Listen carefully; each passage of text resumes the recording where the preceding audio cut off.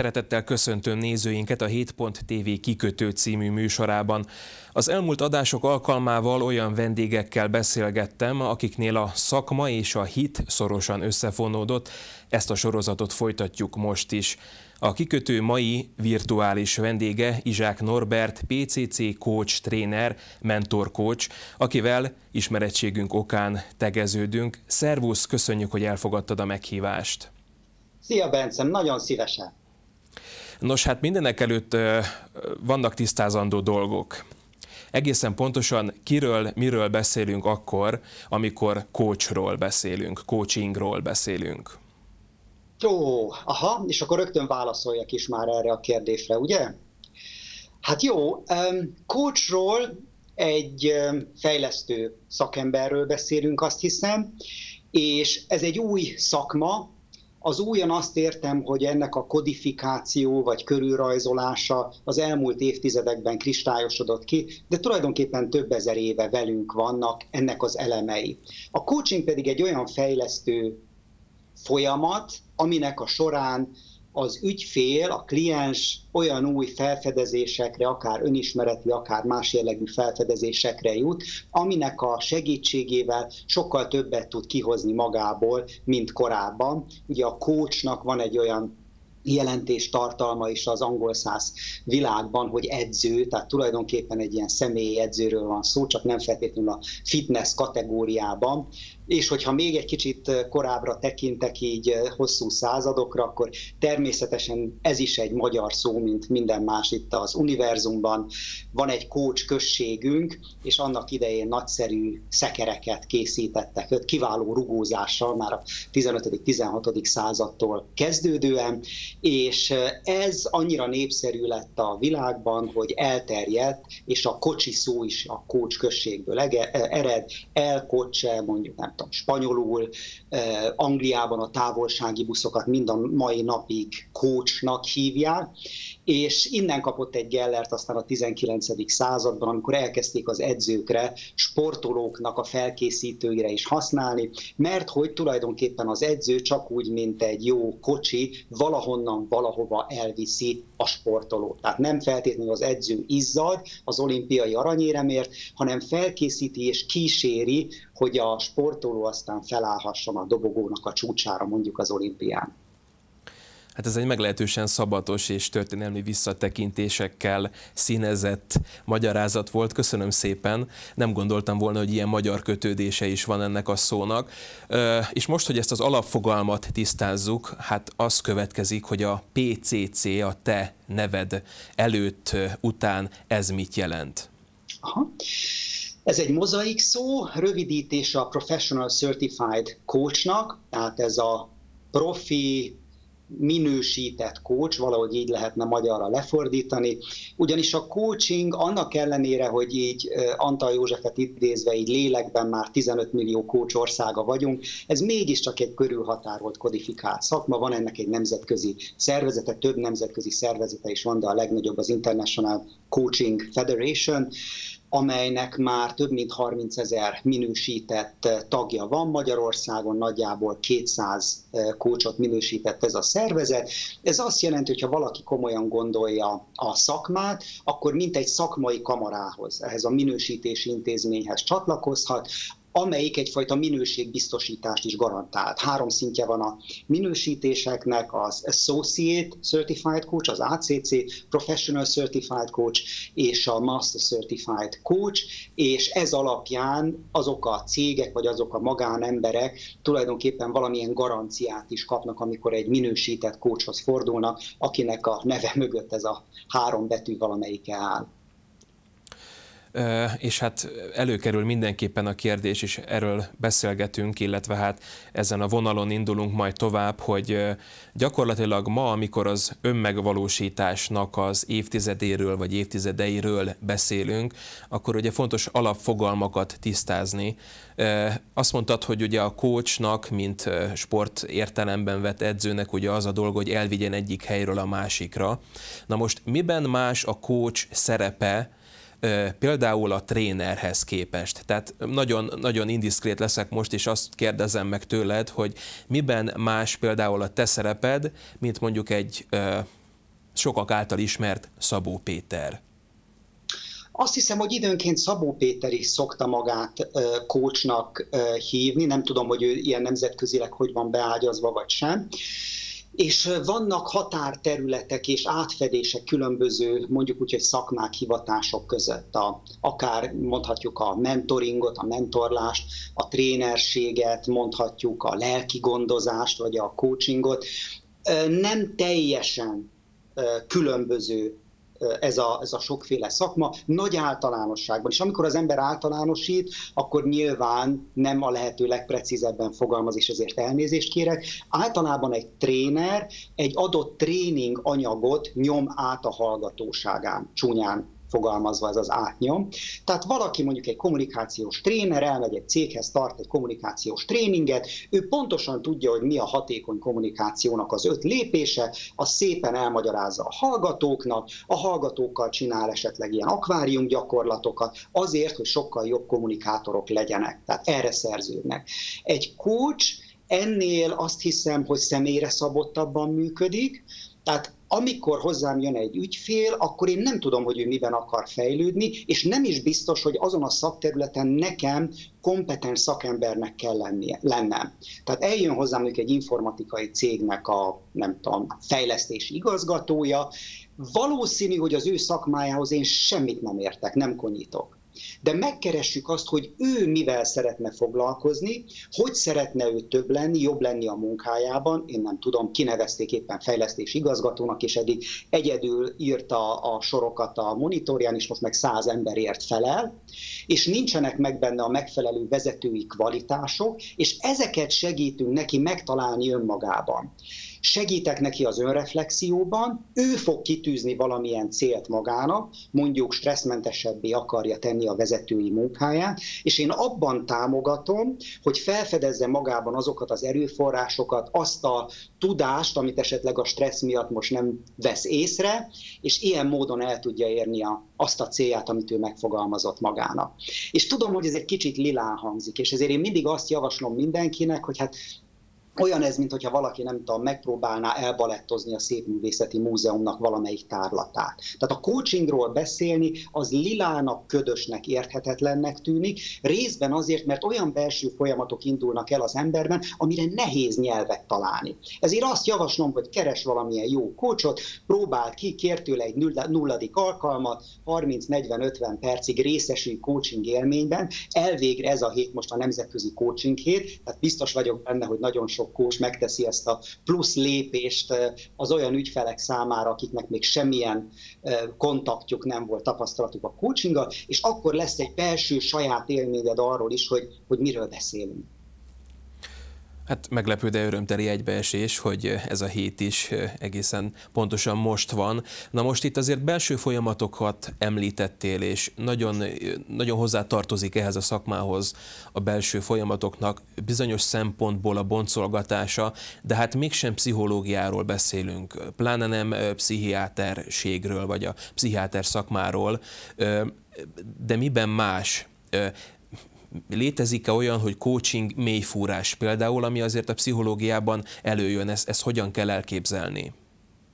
Hű, nehezet kérdezel, és különösen a mostani jogi környezetben én félek is erre definitív válaszokat adni. A jogi környezeten érzem, értem itt a kuruzsló törvény, szakképzési törvény, és a többi, és a többi, és mi viszonylag a PTF-en, a Pünkösdi Teológiai Főiskolán szerencsésnek mondhatjuk magunkat azért, mert hogy diplomás kócsokat képzünk, és arra szól a coaching diplomája a hallgatóknak, amit aztán fognak csinálni, tehát nem pszichológiára, vagy pláne nem e, pszichiát, teri beavatkozásokra.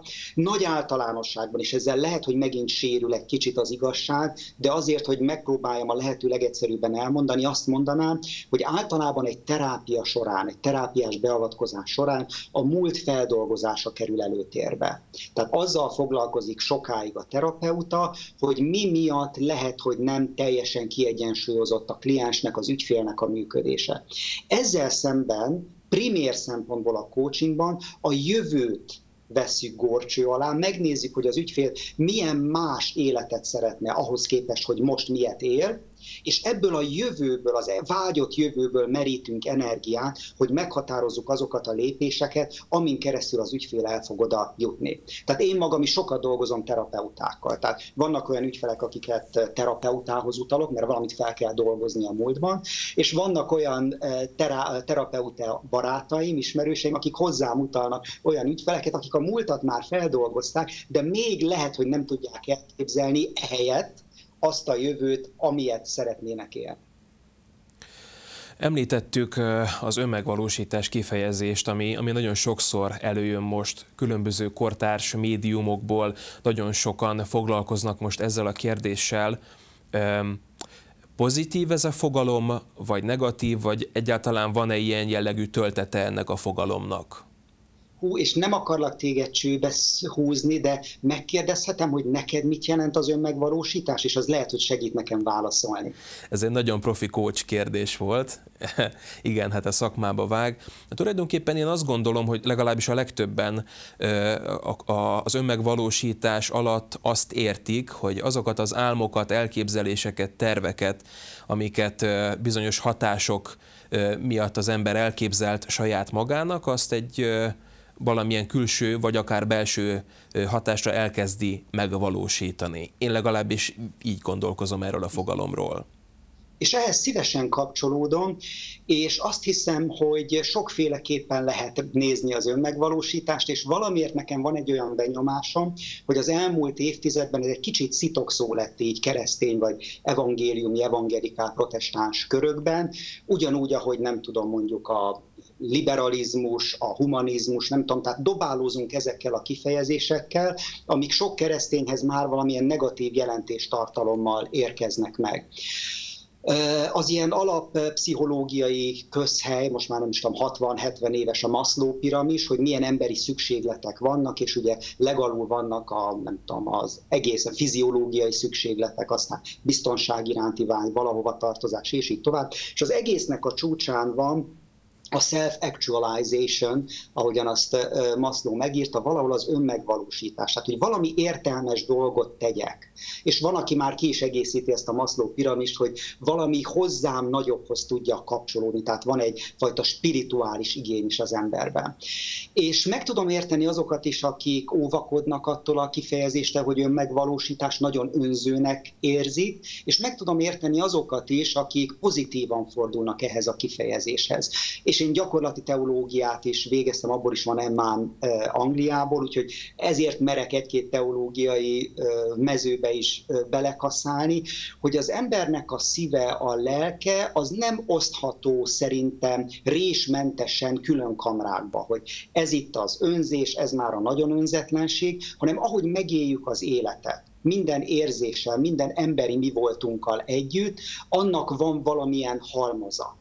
És ha én úgy gondolok az önmegvalósításra, hogy a bibliai talentumok példázatát veszem elő, hogy Isten milyen képességeket adott nekem, milyen tehetséget adott nekem, akkor én azt nem szeretném elásni. Ha az önmegvalósítás azt jelenti, hogy a bennem munkálkodó Szentléleknek a munkáját én örömmel akarom végezni, és hogyha ennek az egyik pecsétje és bizonyíték az, hogy én magam is jól érzem magam munka közben, akkor szerintem valósítsam meg magam. Kicsit fel tudom idézni a az Emmauszi tanítványoknak a példáját, hogy amikor Jézus beszélget velük, utána arról beszélgetnek, hogy hogy buzgolkodott az ő szívük, valami ott történt. Vezli Jánosnak a megtérésekor, a megtérésekor is arról ír, hogy valami különös forróság öntött el a szívét. És nagyon gyakran ez így lett tevékenységekkel is, hogy én csinálok valamit, és közben elönt annak az érzete, hogy most a helyemen vagyok. Ha így értelmezem az önmegvalósítást, hogy a Szentlélek ráúti a pecsétjét egy belső bizonyosság által, hogy én jó dolgot csinálok, akkor szerintem csináljam azt. Kicsit immediás stressz, de köszönöm, hogy belekóstoltál ebbe a témába is, ugyanis ez még felvezetés előtt állt. Hát említettünk itt spirituális igényt, említettünk itt teológiát, és hát nyilván maga a Kikötő című műsor is egy hit magazin, egy, egy, egy vallási magazinja a 7.tv-nek, hát ezért is volt indokolt a te meghívásod, ön hát nem csak coach vagy, hanem emellett ugye teológiával is foglalkozol, oktatsz is, illetve hát keresztény szemléletű coachingot is oktatsz. Ezek a szerepek hogyan találkoznak benned? Oh, hát kicsit kaotikusan azt hiszem, tehát ezt sem tudom úgy egészen pontosan szétszálazni. Nekem egy nagy felfedezés volt maga a coaching, mikor ezzel találkoztam, mert ez egy nagyon gyengét fejlesztő módszer. Tehát ellentétben valamilyen nagy, nem tudom, talán konfrontatívabb trénerséggel, vagy talán más fejlesztő műfajokkal, ez nagyon az ügyfélhez idomul, és a saját ütemében, ritmusában viszi a, az ügyfelet, vagy segíti, támogatja az ügyfelet, ahogyan a jó edző is, ugye nem mind a száz, vagy nem tudom, tíz sportolójának ugyanazt az edzéstervet adja fel, hanem velük összhangban akár a fiziológiai, lelki szükségekkel együtt segíti őket a, a céljuk megvalósításában. Tehát nekem ez egy nagy felfedezés volt, és én ezelőtt egy 6-7 évvel gondoltam arra, hogy milyen jó lenne ezt a, az egyházba is bevinni ezt a szemléletmódot. És amikor elkezdtem azon dolgozni, hogy de jó lenne ezt bevinni, mert sok hitbeli, hitéleti elakadás ezzel orvosolható, megjegyzem zárójelben, hogy szegény lelkipásztorok gyakran eszköztelenek, tehát van sok barátom, ismerősöm, aki amikor valamilyen lelki problémával szembesül, nem tud más mondani, mint azt, hogy olvas többet a Bibliát, vagy imádkoz többet, ami nem mindig a, a hogy mondjam, a leginkább a szükségekhez szóló dolog, tehát lehet, hogy másra is szükség van. És amikor én ezzel elkezdtem foglalkozni, akkor megdöbbentem azon, hogy a coachingnak van egy ilyen rejtett története, több ezer éves története, és elkezdtem ilyen szemüveggel ö, olvasni a Szentírás, a Bibliát, mind az Ó, mind az Új Szövetséget, és nagyon sok olyan példát láttam, ahol a Szentlélek, vagy Jézus, vagy maga az Atya kicsit coaching üzemmódban is megnyilvánul. Ez nem azt jelenti, hogy azt gondolnám, hogy az atya kizárólag egy coach, vagy Jézus kizárólag egy, egy coach lenne, de hogy vannak olyan működési modelljei, amik teljes átfedésben vannak a coachinggal. Például, hadd mondjak egy példát, hogy ne csak rébuszokban beszéljek, hogy maga az Úristen sem veszi a felelősséget magára, hogy megfosszon bennünket a saját akaratunkból indukált változástól. Amikor elmegy a vak ember Jézushoz, és a Jézusnak az első kérdése az, hogy mit akarsz, hogy cselekedjen vele. És ez engem mindig zavart egy kicsit, hát hogy még a vak is látja, hogy hát, hogy hát vak, és meg kéne gyógyítani.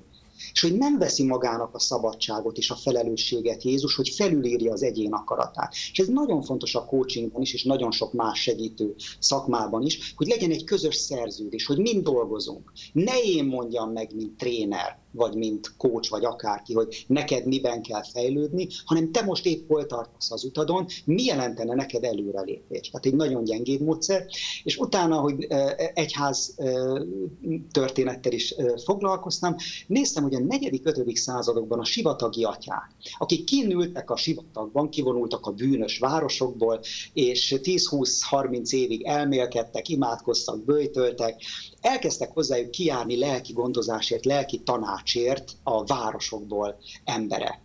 És meg is fenn is maradt nagyon sok ilyen apoftegma, ilyen bölcsesség a Gerontikonban, a bölcsöregek mondásaiban, amikor egy-egy rövid kérdéssel, egy-egy rövid kommentárral vagy visszakérdezéssel megváltoztattak emberi sorsokat.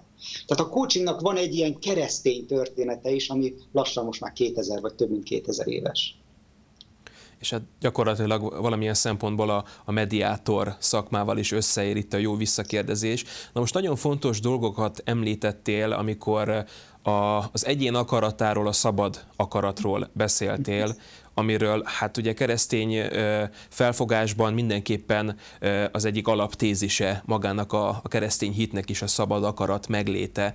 Na most, amikor egyházon belül vagy keresztény közösségekkel foglalkozol, mert esetleg onnan érkezik segítség, kérés, jelente az könnyebbséget a te munkádban, mint coach, hogy például ezt a fogalmat, ezt azért elismerik és ismerik, vagy egyáltalán ez, ez egy szekuláris területen megjelenik-e ez a kérdés, a szabad akarat kérdése, tisztázható-e?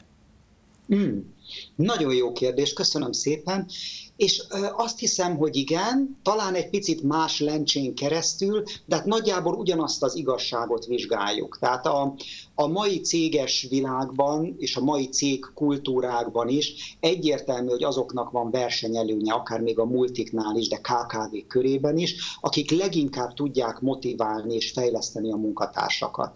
Akik nem csak a blokkoló órát nézik, hanem azt is nézik, hogy mit él áll, mit, mit él át, mit tapasztal meg a munkavállaló a munka közben. Mert hogyha olyanok a munkakörülmények, olyan a munkahelyi kultúra, az nagyon-nagyon megdobja az embereknek a lojalitását. Tehát nem is tudom hány száz kutatás volt már arra, hogy az emberek nagyon szívesen kapcsolódnak valami olyan dologhoz, ami rajtuk túlmutat, ami nemes cél.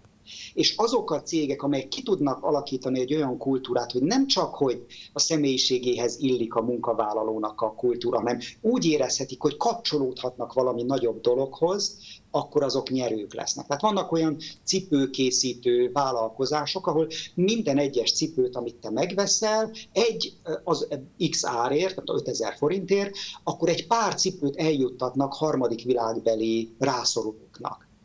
Ilyen szempontból azok a munkatársak, akik annál a cégnél dolgoznak, nem csak azért örülhetnek, mert nagyon szép cipőket terveznek vagy készítenek, hanem azért is, mert úgy érzik, hogy hozzáadnak valamit a világhoz, jobb helyét teszik itt kapcsolódik talán a keresztény közeghez, hogy mi is az egyházban, azt hiszem, hogy remélem nem csak elvben, hanem gyakorlatban is, azon dolgozunk, hogy minél inkább Isten országa meg tudjon valósulni a maga szeretetével, igazságosságával a környezetünkben. Tehát szerintem a, van átfedés, tehát nem feltétlenül tételezném azt, hogy van a keresztény közeg, ami mindenféleképpen harcol a világi közeggel. Azt mondja Jézus, hogy keressünk szövetségeseket, akár még a hamis mammonom belül is. Nyilván nem profitorientáltságért, hanem azért, mert így is valamit be tudunk vinni az evangéliumból, Isten országából abba a közegbe. És ha szabad akaratra kérdeztél, és nem akarom ezt megválaszolatlanul hagyni. Az jutott még eszembe, hogy azok a cégek, ahol ilyen nyitottabb a belső vállalati kultúra, a céges kultúra, ők mindenképpen szeretnék a munkatársakat is jobban hozzá kapcsolni és motiválni a saját belső erőforrásaikhoz. Mert ugye nem lehet mindig fizetést emelni, vagy fizetéssel motiválni valakit. Sokkal kifizetődőbb, ha megtaláljuk azt, hogy neki milyen érdeke fűződik, milyen jó érzése fűződik ahhoz, hogy nálunk dolgozzon.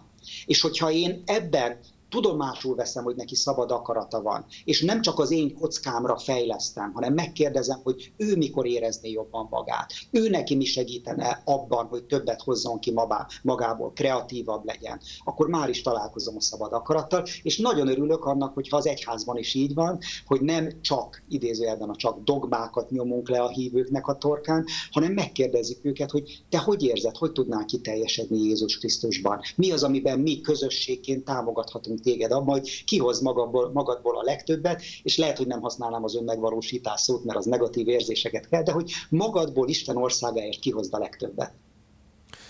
Hát nagyon szépen köszönöm azt az értékes összefoglalást, összefoglalót, amit itt eh, a témával kapcsolatban kibontottál előttünk. Nagyon sokat lehetne még beszélgetni erről a témáról, de a mai adásba ennyi fért bele. Köszönöm a beszélgetést Izsák Norbertnek, Kedves nézőink, a kikötőt látták és hallották, köszönjük, hogy velünk tartottak. Legközelebb két hét múlva találkozunk, addig is kövessék műsorainkat a televízió képernyőjén, valamint YouTube csatornánkon, és olvassanak bennünket a behír.hu-n, valamint a Csabai Mérleg hasábjain. Viszontlátásra!